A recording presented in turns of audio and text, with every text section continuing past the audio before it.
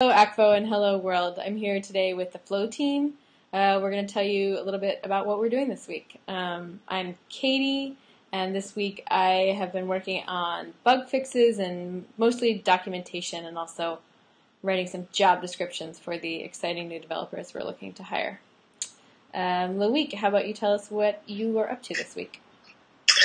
Hello, everyone. Uh, today I've been, well, this week I've been working on um, flow data and particularly on uh, solving a problem which is uh, when we have a huge amount of data, how to represent it the most uh, efficient way, and especially on different resolution, resolution screens, so from mobile phone to huge uh, screen on computers. So this is my challenge this week.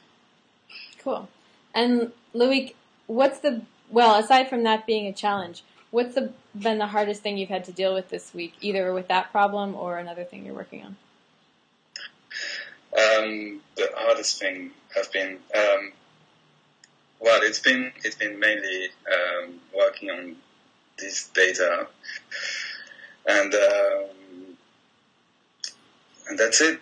I think that was a good challenge already, and I'm getting somewhere. And I started doing some um, prototypes to see how it works. So yeah. Cool. Uh, all right. Uh, next, why don't we hear from Ollie? Hi there. Um, this week I've been working on the flow deployment process. Um, so at the moment we have a few scripts that the original flow developers Drew and Chris have been using uh, to get the uh, flow dashboard in, um, instances deployed. So what I'm working on at the moment is taking those scripts and making them um, easier to use and also so that we can plug them into our uh, automated deployment process.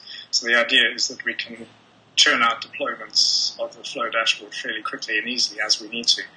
Um, this is partly in preparation for moving to a system where we where, where we have all the Flow dashboard instances um, updated to the same version as, as soon as possible.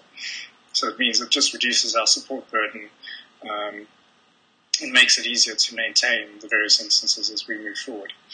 Um, in between that, um, my time is also split between working on the RSI project. So um, I've actually mostly been working on that this week, but in between working on the flow deployment process. So what's been your biggest challenge, Ollie, this week?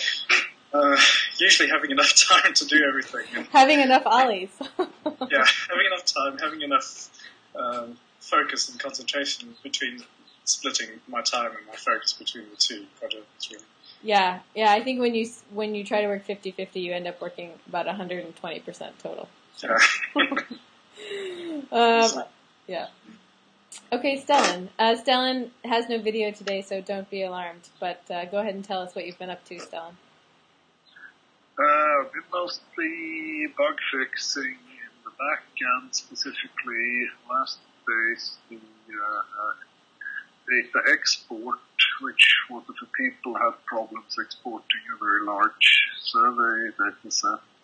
So looking at why the, the Java code that, that runs on, on people's computers run out of memory and can be done about that and also a few other bugs where, where data gets lost in somewhere inside the backend. Cool. Um, and how about your biggest challenge this week, Stellan? What's it been?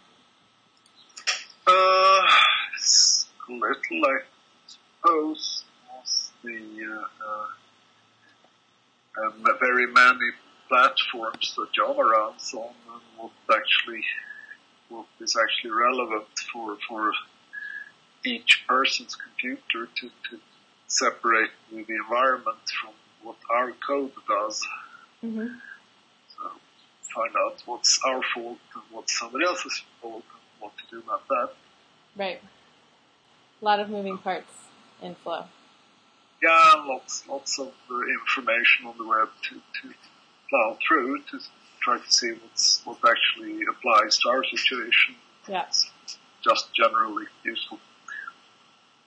All right. Well, I, I think I forgot our other relatively good piece of news is that we released a new version of the Flow Field Survey application this week that we're going to be slowly rolling out to partners. So if you're a partner and you're watching this, you might hear from us soon.